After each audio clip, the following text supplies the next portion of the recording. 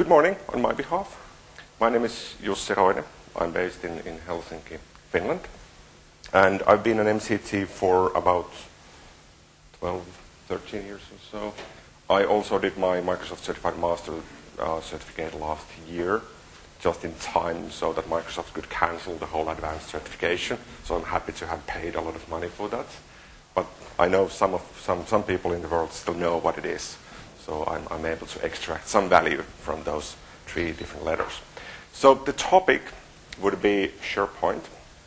And uh, instead of going through all the features that SharePoint has, you probably have access to all the materials that Microsoft has provided. Uh, I'm going to talk a bit more about when to use SharePoint Online, when to use SharePoint Server on-prem, and when not to use SharePoint. And it seems that SharePoint is not the best platform for all kinds of different needs. Even though if you go to sharepoint.microsoft.com and they state that you're capable of doing anything with SharePoint, and that's not really true. I've been working with SharePoint since 1996 in Site Server, which was kind of the basis for SharePoint. And uh, for the past three or four years, SharePoint has been evolving a bit more, and now it's shifting quite heavily to Office 365. So what we'll cover is SharePoint itself. And this is often, often what I see with my customers. I do a lot of consulting, I do a lot of architectural designs, also a lot of trainings. And customers often have a problem, and for one reason or another, they choose to use SharePoint to, to solve that problem. And what often happens is that they have many more problems after choosing SharePoint. And it's not necessarily the, the, the fault of SharePoint being bad or buggy or something else it's the problem of SharePoint not really being a single product. It's a stack of features, and you need to know what to choose from there and need to know what not to use from there. The, the, the typical example I use with customers who don't really know what, what SharePoint has to do, be it a training or a deployment or something else, is that when you deploy, let's say, Windows 8.1, you still have Notepad, you have MS Paint, which are fairly good for the, that random use on a daily basis. But you don't really do uh, image editing in Microsoft Paint. You use it to, to do some clipping or changing a color, and that's about it because you, you don't have access to something more advanced. And in SharePoint, there's a lot of functionality that could be more advanced, but it's there. So, so it's really up to the architect or the customer to choose what do we leave out, what do we replace, and what do we simply use as it is. And that's the challenge with SharePoint. I also saw, saw this nice picture. People seem to have a fairly bit of hatred against SharePoint. Uh, after living and breathing SharePoint for about 10 years full time, most nights and weekends as well, at certain moments I would agree with this, but most of the time SharePoint is, is quite nice to work with. So, oftentimes customers don't really know what to do with SharePoint. So it, it, it reminds me of Office Space, the movie that you've probably seen. So what it is that you're supposed to do with SharePoint, you just did your next, next, next, next deployment, and that's that. What happens next? It's only the deployment that you've done. Now you need to choose what, what do you want to do with the product. And that's when the real fun actually starts. So, I'll try to explain SharePoint to you in one slide. Sadly, that won't be the only slide that I have today, but I don't have too many slides. I have a couple of quick demos that I, I hope that I'll have enough time to show you. And I'll also discuss with you about the differences between SharePoint 2013, which is the on-premises setup, next, next, next, reboot, you're all done, and SharePoint Online, which you basically pay a monthly fee and start using and hoping that it works. And let's also briefly look at the customization model in SharePoint 2013 and SharePoint Online. I'm not opening Visual Studio. I'm not opening any code editors, but I'll just show you a demo on how things should be done in the future, regardless of what you see on MSDN or TechNet, because they're lagging behind about 6 to 12 months. So this is the slide. No, not really. So, SharePoint. It's a platform and also a product for providing collaboration services. That's what it's supposed to be. But as always happens, you can bend SharePoint to do something else as well. So you can deploy that and imagine that instead of using SharePoint to run our intranet or extranet or document management or search solution, let's tweak SharePoint so that it's capable of doing media streaming. Or let's tweak and bend SharePoint so that it's capable of, of, of providing uh, user authentication services for external services. And it's still possible. And this being because SharePoint has a bunch of APIs that you can use. It has a lot of hidden functionality, which is kind of documented, but not really. So if you have enough time, you can just go through the files on the disk. You can go through the databases and find all kind of interesting stuff that you kind of hope that, well, maybe I could use this one as well.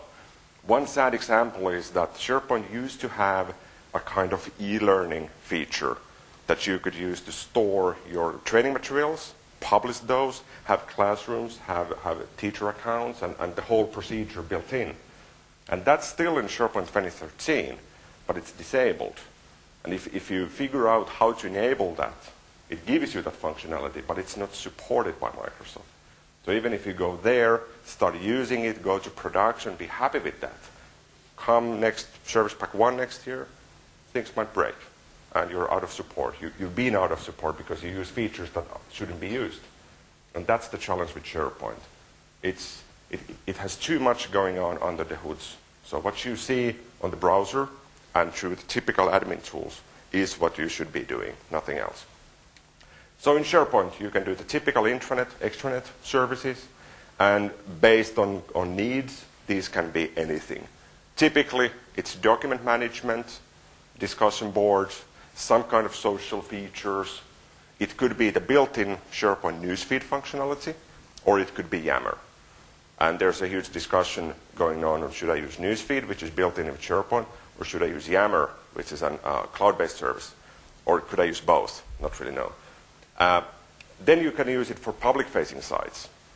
And the sad truth when you start building SharePoint for public-facing sites, uh, a .com site, is that typically you cannot achieve a good-looking site with the proper CMS functionality in less than about $100,000 plus licenses. So that's about $150,000. It's not impossible, but typically it doesn't happen because there's too much stuff you need to do, and that takes a lot of time from the customer, from the partner that, that implements that, and from the MCTs who need to train those people. And you can also use it for line of business apps, meaning that let's just deploy SharePoint, let's not worry anything about what's in there, but there's a functionality that we want to use elsewhere. Search is one really good example. It's really good. It's, it's not Bing or Google, but it's still really good. And you can use that, but not expose SharePoint to anybody, because you can simply use the APIs and use the search-related functionality. But then under the hood, you have a lot of smaller workloads that you can choose. So for example, let's say that I want to go with uh, search and I need some BI functionality. That's still fully supported. I don't need to build an intranet. I don't need to build an extranet. I can just choose to go with these two tiny functionalities and implement those as I see fit. So what SharePoint is not, it's not the best platform for building public-facing sites. Uh, I've been building SharePoint uh, based sites for public use for about five or six years since it was mature enough to be used as such a platform. And oftentimes it's, it's somewhat challenging and there's a lot of missing functionality that companies expect should be in there because isn't this supposed to be the best portal platform ever? So one prime example is responsive web design if you, if you want to have a responsive website that's capable of fitting the content on different size devices, sizes, devices with different capabilities, SharePoint doesn't have anything for that. You can basically build that on your own, and then you start figuring out why did I choose to use SharePoint because I'm actually building the whole thing from scratch, and SharePoint doesn't really provide me with anything. Uh, so it's going to be expensive. It's still possible but I would say it's, it's most suitable for enterprises, for global companies who really need to have a similar unified platform. For anything smaller, I would choose something else. Uh, it's not also clear on how to do certain things. Uh, a simple example would be I need to add a metadata column in my document management environment. Let's say that when I upload a document, I need to add uh, a type of classification. Is it public? Is it classified? Is it secure? Or is it something else? You could easily do that through the mouse and, and the typical admin interfaces. Click a new column, set the data type, and that's that.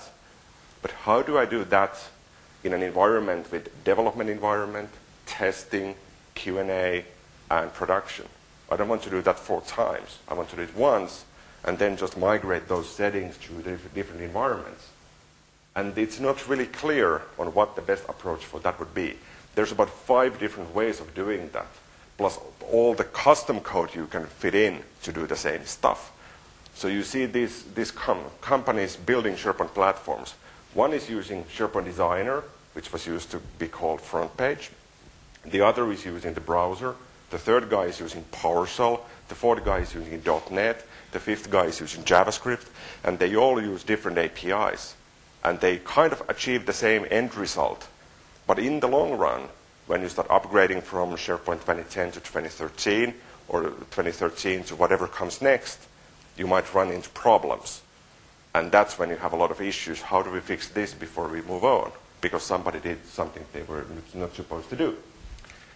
Um, it's still a single product in terms of marketing, but in SharePoint 2001, which was the first public version of SharePoint, somebody decided that let's hide all the technical files, all the UI files, JavaScript, CSS, and whatnot, everything in a folder which is hidden beneath program files, common files, Microsoft shared, uh, web server extensions, version number, blah, blah, blah, because nobody wants to edit those.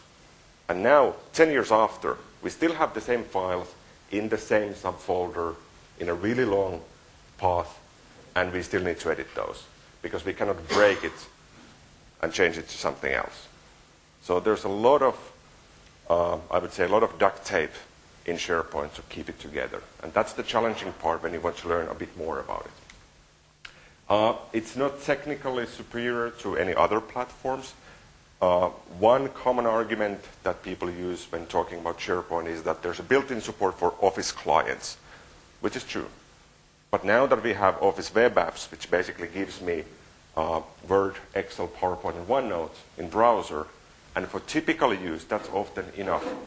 I don't really need to have the rich clients for typical document management use, for random uses at least. So SharePoint is still good on those, but it's, it's, it's not the only one that is capable of doing that. And it's not an easy product to master. Once again, because there are so many ways to achieve a certain end result, and nobody tells you what the best one is. So people argue that, well, I'm going to TechNet and it tells me I need to do this. And somebody else tells you, no, no, you cannot do that because it will do X.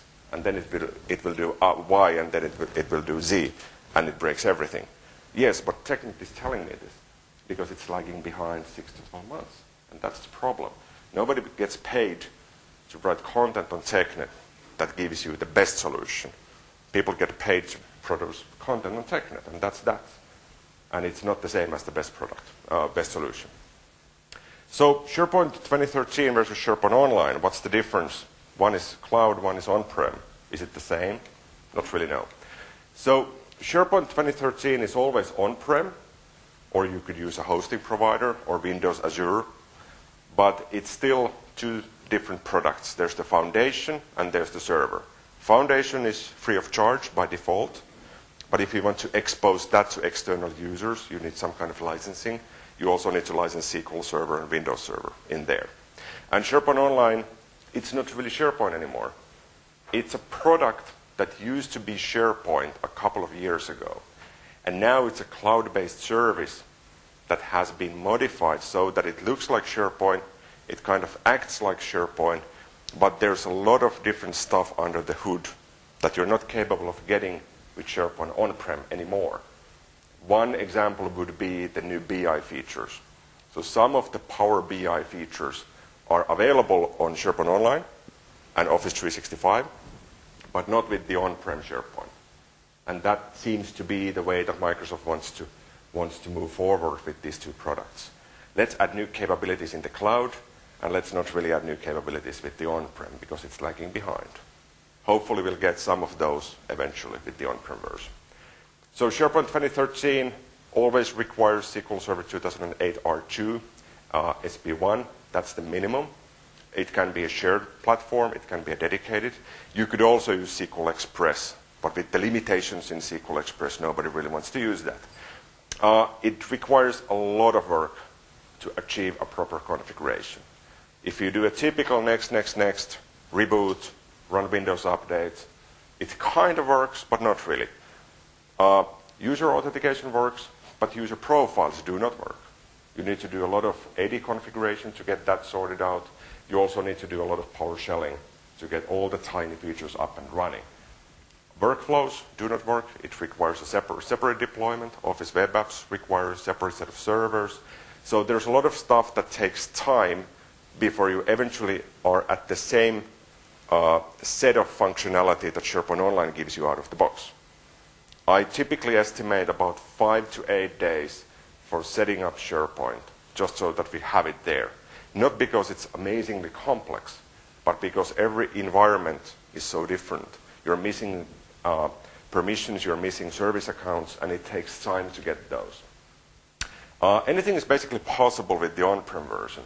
You can just open Visual Studio, use .NET, do whatever in there. Nobody is telling you not to do stuff. But there's a certain set of rules that you should follow, and you can still bend those rules a bit, especially with JavaScript now.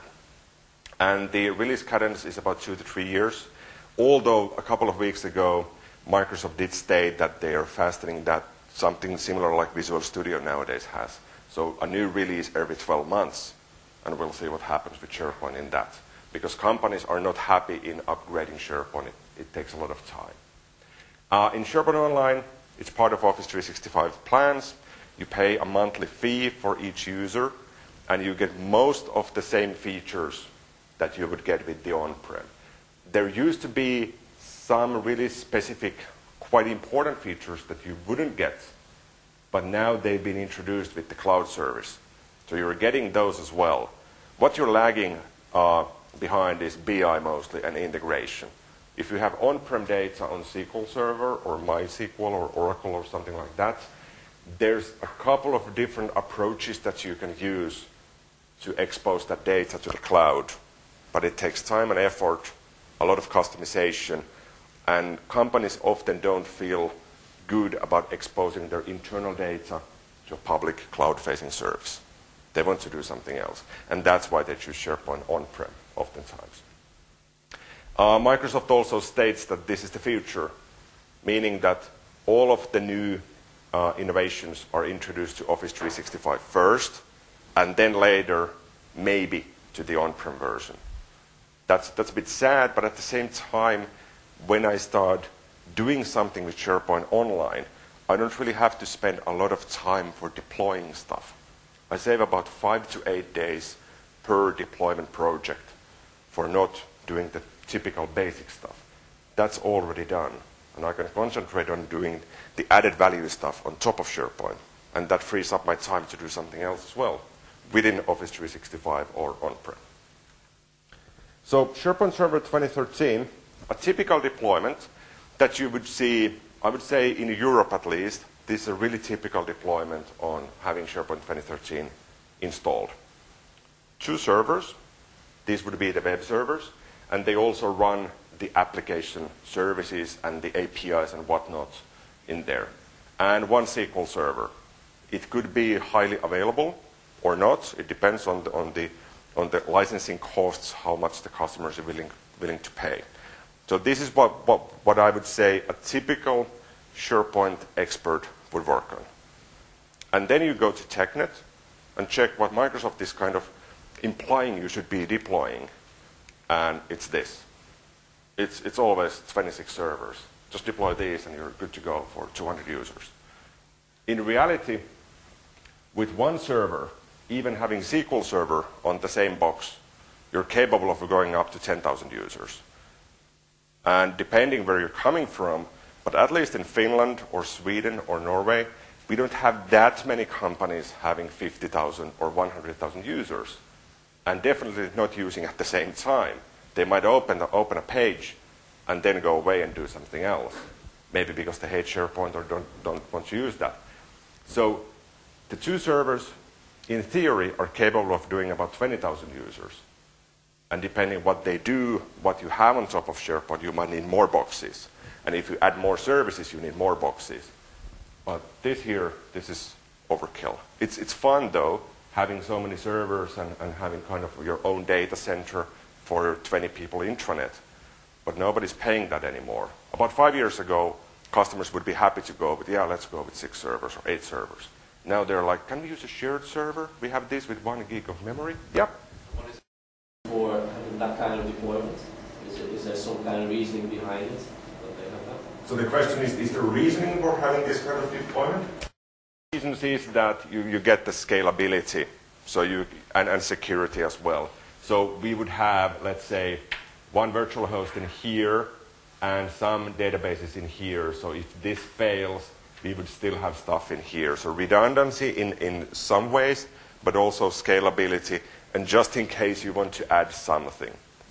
In SharePoint 2007, they introduced the fast search engine as an external add-on to SharePoint. And the guidance at the time, about 2008, was that if you want to have this up and running, here's a good and typical deployment of 14 search servers. It's like, what? Why do I need so many? Should I be okay with one? And just index my file shares and that's that. Yeah, but you might need these. So we are inching closer to this kind of deployment model for typical uses. Of course, if you go to a company and they tell you that we have 25,000 users, we have huge BI stuff, then you need to scale up. But the whole architecture of SharePoint allows dynamic scaling. You can just throw in more servers and designate what runs where, and you don't need to reboot anything. So that's quite flexible. Uh, in admin stuff for SharePoint, you can do almost everything in a browser-based central admin. It's one single portal that a few people should have access to, and you can provision new services, you can manipulate the security settings, and you can run most of the stuff through there. But some people prefer using PowerShell. So everything you can do in, in central admin or through the browser, you can also do through PowerShell. The problem is with PowerShell, there's hundreds of different commandlets for SharePoint, and they keep evolving. So in SharePoint 2013, the first beta version that came out a year ago, uh, they had these uh, PowerShell commandlets for managing the cache functionality. And then with the RTM version, they changed the whole instruction set for those. But they still had on TechNet the instruction for the old kind of commandlets. And they would still work but do different stuff now. So it's often challenging to find what's the correct command for doing X. And it can be possible in PowerShell, or then you need to call from PowerShell something else that achieves the same result for you. Uh, and the old STS ADM, it's a command line tool. It was introduced in SharePoint 2003, I recall. And there's still a couple of commands you can do only through that tool. So we have a different set of tools that we, we need to use, not on a daily basis, but I would say on a weekly or monthly basis. And some add-on tools that I find myself using almost constantly. So you all know Fiddler. That's really good, especially for the new development model. Uh, .NET Reflector, often good when you can't figure out why something doesn't work out. You just use that, open some of the DLLs in SharePoint and start looking, what's this supposed to do? Why doesn't it work out? Uh, there's a free tool called the ULS Viewer. This is probably the most um, beneficial tool for you to use. Let's say you don't want to use SharePoint, you have nothing to do with SharePoint, you walk into your customer or there's somebody in your classroom asking a question, why do I get this in SharePoint? You get this, it's one exe file, put it on SharePoint, put it on, it spits out the real-time logs from SharePoint's all services, and you can filter that out. And it even highlights the critical ones in red or yellow. So that's really beneficial if you get some kind of uh, error code. You can trap it with that and see what's really happening under the hood, because the browser-based interface doesn't tell you anything. It tells, it, it tells you, I'm sorry, something happened, but you don't really know what.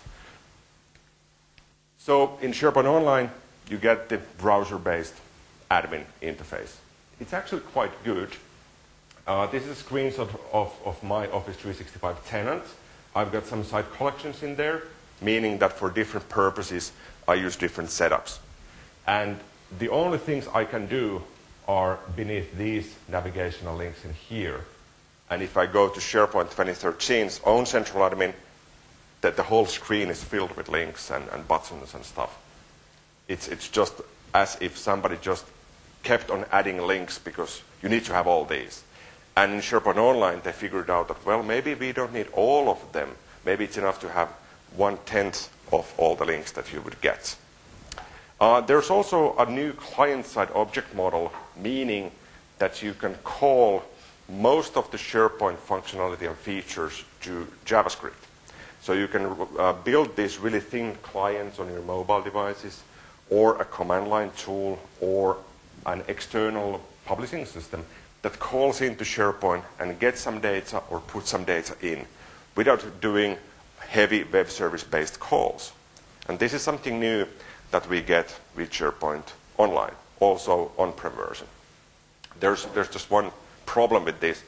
So you see it's, it's underscore API. This is what you can call. And let's see if my network is still running. This is a, a really simple site within my, my SharePoint Online tenant. Uh, there's a couple of folders, some documents, and uh, I've shared this with external users as well, so people who are not part of my organization and they can use the Microsoft account to log in. So when they've eventually logged in, this is what they'll see. But remember that I also have different site collections, meaning for different customers, and the users shouldn't have access to any of those. So what they can do now they can just get this address.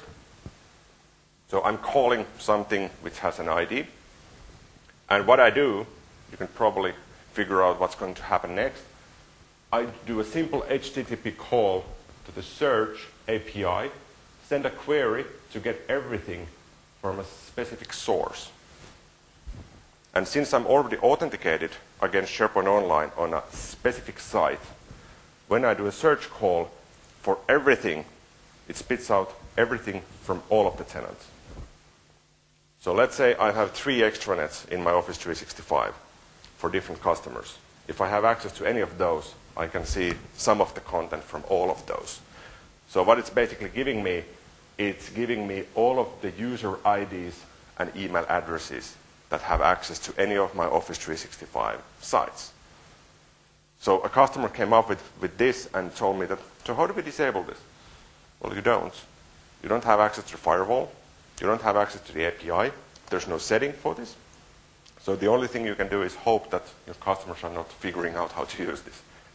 And that's the problem with certain cloud-based services. You cannot do anything if something breaks. You can just kind of claim a ticket and hope that somebody fixes this. But this is going to be really hard to fix because it needs to go beneath the hood to fix something. So which one is best for my needs? Uh, as mentioned earlier, SharePoint 2013 is best for enterprises, larger companies who are willing to invest a lot of time and effort to fine-tune SharePoint to fit their needs. And SharePoint Online is best for almost anything else. The big discussion that often needs to take place is the typical we don't want to be in the cloud. Can we trust the cloud? Can we put our data in the cloud? And there's so many different arguments that you can throw back and forth. What I often use in, in, in such discussions is that, okay, so what, what other services do you use? Do you use Salesforce? Yeah, of course. Do you use YouTube or Facebook or Twitter? Yeah, yeah, of course. Well, they are all cloud services. And this, this one is as well. But this has security, and you can put passwords on certain things in Facebook, you cannot do anything. You can just use it and hope that somebody uses the data as they see fit.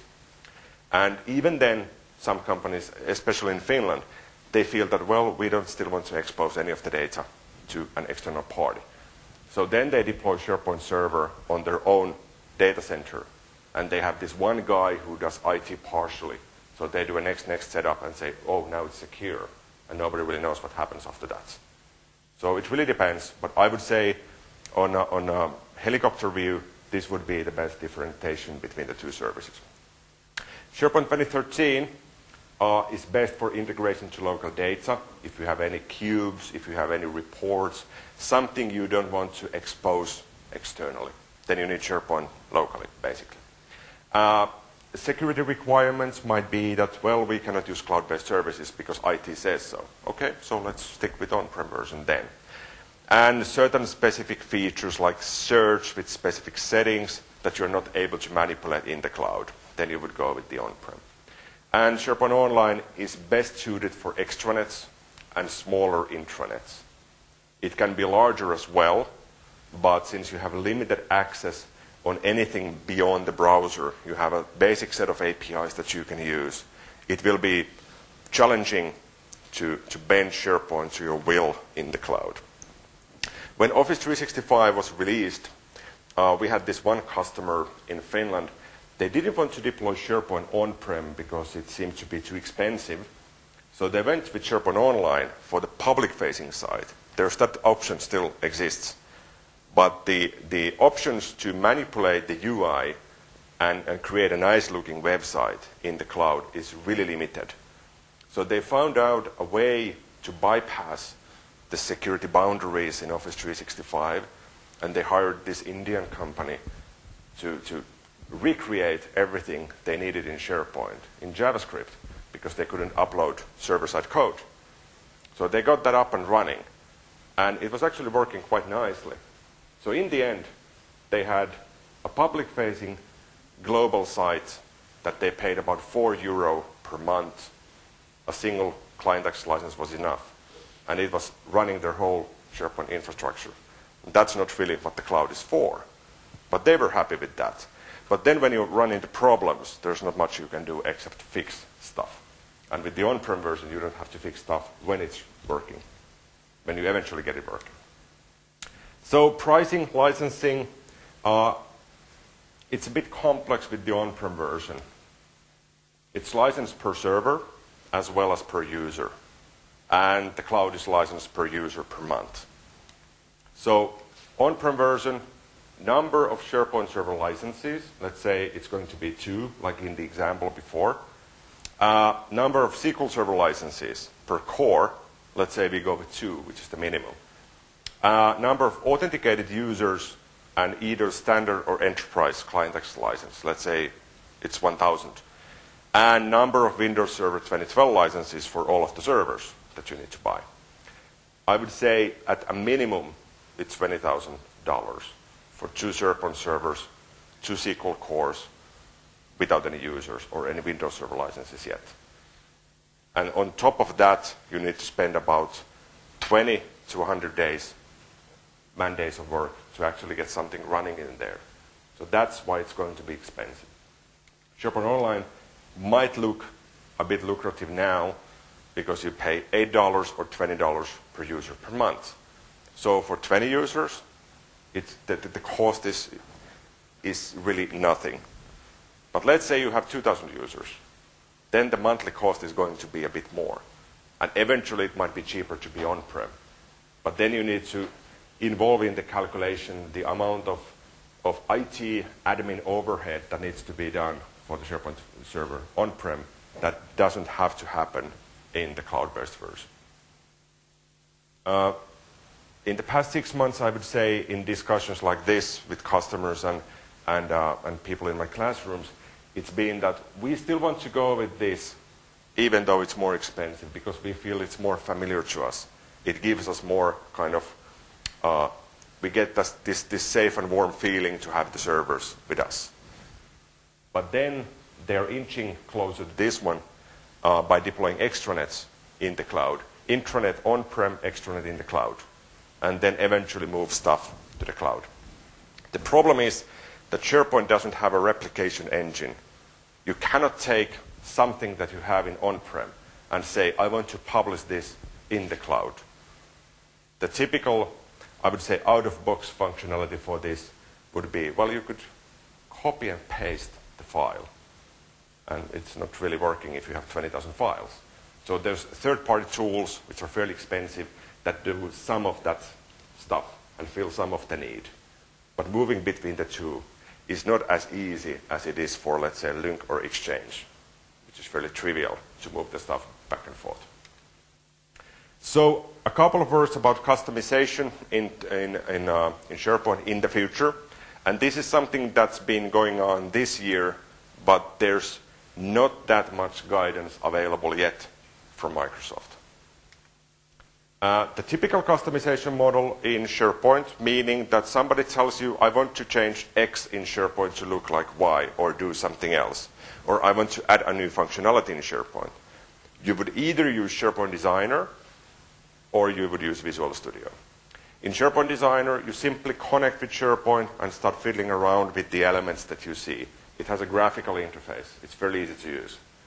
And in Visual Studio, you get this blank page saying that, so what do you want to do next? Do you want to add an XML file or a CSS file? Sure, that's possible, but you need to code the whole deployment logic in there as well. You could use PowerShell, and you start coding that one as well. So doing simple stuff with Visual Studio often takes a day or two. And in SharePoint Designer, it's next, next, oh, it's done. It took two and a half minutes. So this is hard for companies to understand what the difference is. Why does it take so long for the, for the uh, professionals to do stuff in Visual Studio when it's so easy for an amateur to do it in SharePoint Designer? And one problem being with the different environments, moving content and customizations from dev to test, to QA, to production, and back. And that's not possible with SharePoint Designer at all. And in Visual Studio, it's possible. Uh, the old way of doing things, everything is server-side, everything is kind of customized, and if there's a problem, you just open Visual Studio again and start fixing stuff.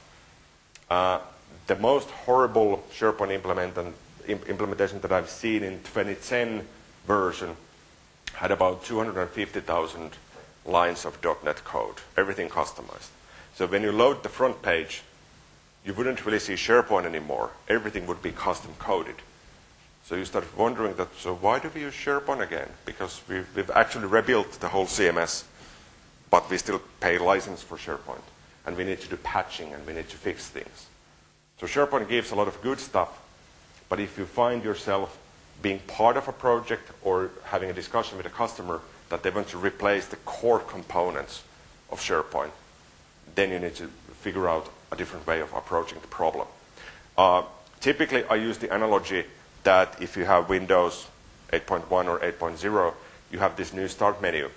You don't start customizing this. You can move around the tiles and resize them, but that's about it.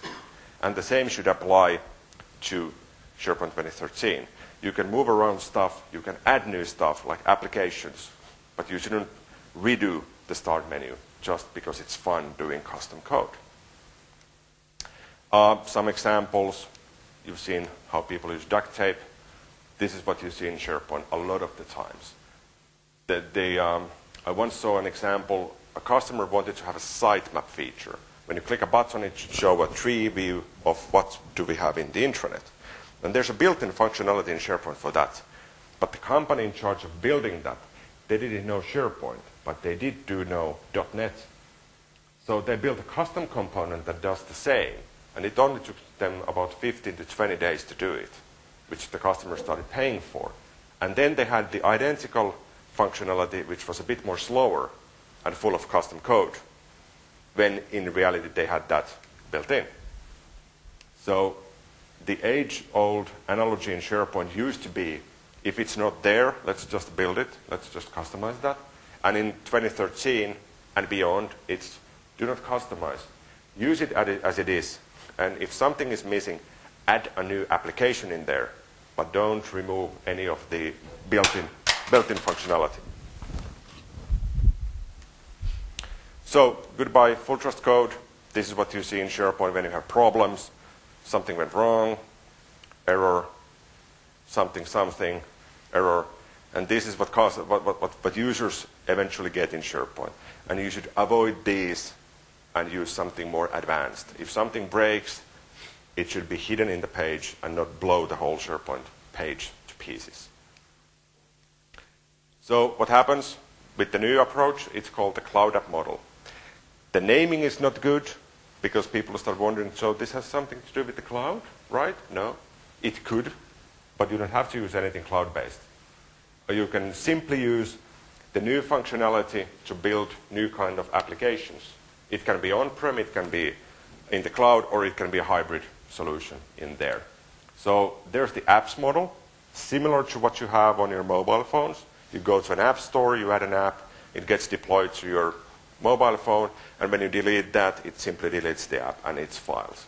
It works exactly the same in SharePoint now. There's an app store uh, maintained by Microsoft, but you can also set up your own, which runs on top of SharePoint. So when you create in-house applications, you can distribute those internally and even charge money from people if they start using those. Then there's something called the remote provisioning, meaning that instead of going uh, remotely, uh, let's say, use RDP to go on a SharePoint server and start adding those customizations, you can now execute those customizations against a remote SharePoint box and have those deployed. And then everything should be client-side. So instead of using .NET, the default language is JavaScript now. And this is a bit problematic for a lot of .NET developers. People have been doing .NET for about 10 years. They know all the ins and outs of, of, of the framework. And now Microsoft is telling them that, well, maybe you could use JavaScript to do it. The, the API is a bit different, and you don't have half of the stuff you used to have, but it's much better now. So it will take a couple of years to get to the same level that .NET gives us now. But the benefit is that if you use client-side solutions, you can deploy your customizations on SharePoint on-prem, SharePoint in a hosted environment, and SharePoint in the cloud. And it works exactly the same because it's client-side. So it's basically a pattern that allows you to do stuff you used to do on server side, on the client side, and it's less intrusive. It's a bit more complex, but it's more scalable and it gives you the hybrid approach on how to do things. Let's see if I have still my, my remote desktop open. So here's a different SharePoint. This is an on-prem SharePoint. This is one of, one of my development boxes. Nothing magical about this. SharePoint Server 2013, empty page, basically. So normally, when you want to add a new, new functionality in here, you would open Visual Studio, do your customization, package that, copy the package in here, use PowerShell to deploy that, come here, click on different buttons, and hope that things work out. If they don't, you go back to Visual Studio and start again. So here's a simple example on, on how to do stuff. I've got one uh, WinForms application. I wanted to build this because it's been a, a, a long time since, since I was capable, to, capable of doing WinForms because nobody wants this anymore. Uh, so what this does, I want to say, let's add a new user interface to SharePoint.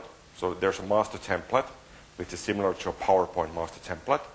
And let's deploy that. It doesn't ask where to deploy. This could be remotely, but I've hard-coded to deploy against my, my SharePoint is there. That's done. So it's connecting to HTTP, uploading the file, setting it in use, and that's that. I reload the page, and it has a custom footer now. And the custom footer is picking up my pictures from Instagram, I think. And nothing magical about this. I could easily add this manually on the page. But since, since it's a footer now, on any page that I go to, it has the same custom footer now. And if I later want to manipulate that or just get rid of that, I can just reset the settings and reload the page and it's gone. There's no service uh, interruption to users, no IIS reset that's required, and I can do this against 10 boxes at the same time if I want to, or just a single site if I want to. I think I also added at some point custom web parts as well that I can put in there. So I can also use this to add custom content in my page. So there's the footer, and there's a custom image that it, that it uploads to SharePoint and deploys that on the front page.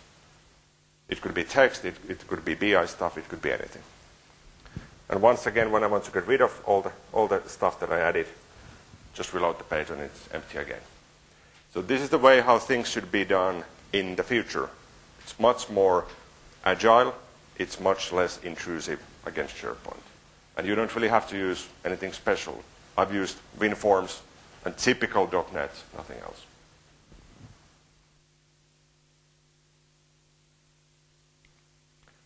So you, you'll still have all the old stuff. You can use PowerShell, you can use server-side code. But eventually, server-side code is going to be removed as an option for doing customization in SharePoint. There's a new function uh, called Design Manager that can be used to create custom UIs in SharePoint. It's a browser-based tool for manipulating the visual elements on the page. It's 1.0, so I'm waiting for the 3.0 so that I eventually get stuff done with that. But for now, it's something that we get.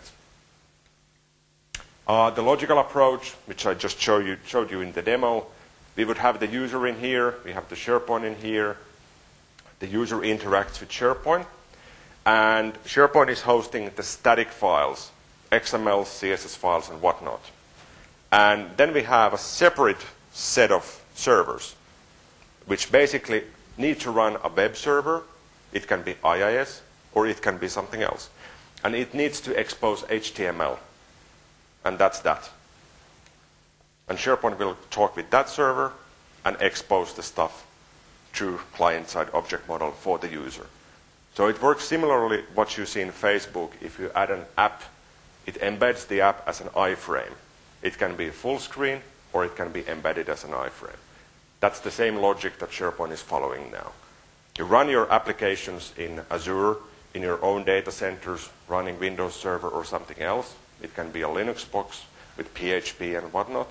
And you expose certain parts of that in SharePoint. And SharePoint is capable of using those. So whenever you need to upgrade any of your customizations, you upgrade the remote box, and SharePoint doesn't need to do anything. It just loads the content automatically. This is how it should be done, but it's not widely used yet because it, there's a learning curve and there's stuff you need to rebuild that you cannot do in .NET anymore. Uh, and the remote provisioning that I showed you, we have the developer in here, we have SharePoint and the SQL Server, and we simply upload through HTTP any of the XML files, any of the JavaScripts, any of the CSS files, any of the HTML files, and whatever custom stuff you need to have. So as long as the content is static files, not something that needs to be compiled or not binary files, you simply upload those and tell to SharePoint that please use these. And when it's a binary file, it needs to go to SharePoint. And even for that, you can use remote provisioning if you need. In practice, at certain scenarios, you still need to use server-side code because you cannot achieve certain stuff with JavaScript. Let's say you have a long-running operation that needs to talk, talk to backend stuff. You simply cannot do that easily within JavaScript. And in .NET, it's fairly trivial to use whatever you have on the server side. And for certain uh, UI elements, let's say a custom navigation, quite trivial to build with .NET. There's a simple for each. You go through the stuff, check what permissions you have, and that's that. If you need to do that in JavaScript, you need to go back to the browser, ask the browser to do the same, cache that, and hope that the result look, look good. It takes a bit longer to implement, but then again, that works in the cloud as well. Everything else, you can use SharePoint Designer, click stuff through there, or use PowerShell or something else. In summary, you have the apps framework now. Uh, if you go to the store, the, the marketplace that sells the SharePoint apps, there's a lot of apps, but it's not like the, the Apple App Store or the Google Play Store. There's not like 2 million apps that you can choose from. It's more like 500 apps you can choose from. So it's, it's really new and it needs time to mature a bit more. So if you have 2007, 2010, or 2013 SharePoint coming up, or an existing one, or your customer has one, what do you need to do to move forward if you want to upgrade to a new version? In 2007, just ditch all the customizations, don't bring them over. Get the functionality that you need and match that against SharePoint 2013's or SharePoint Online's existing functionality. And if something is still missing, then figure out if it needs to be implemented.